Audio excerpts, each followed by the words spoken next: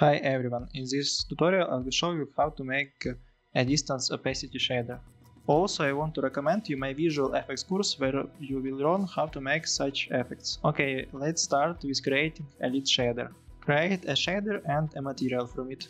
Add material to your test model and open the shader. Go to the material properties and enable alpha clipping.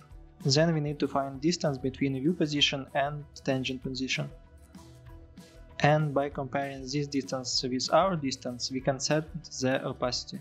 So if distance uh, will be greater or equal than our distance, we will make the opacity from adding these two values. In other case, the value will be 0. Also we need to use a clamp node so that the value cannot be greater than 1. We can also add glow for edges. For that, uh, copy these nodes and uh, add uh, some value for the distance. Then uh, use uh, less or equal value and add this to emission. You can multiply this with color. You can enable HDR color.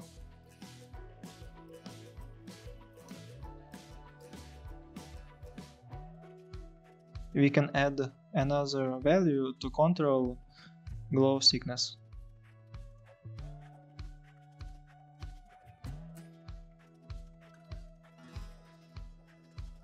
Also we can expose shader properties to the material. If you want you can render both sides.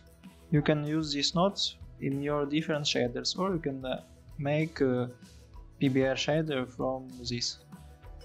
That's all for this video and uh, see you in the next one. Bye!